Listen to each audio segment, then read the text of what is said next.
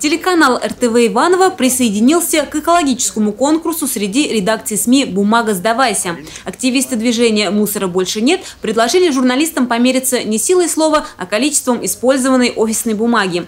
По итогам конкурса будет выявлена самая экологичная редакция в городе. Условия участия в эко-батле просты. В течение месяца копить использованную офисную бумагу без файлов и скрепок, а затем сдать ее на переработку.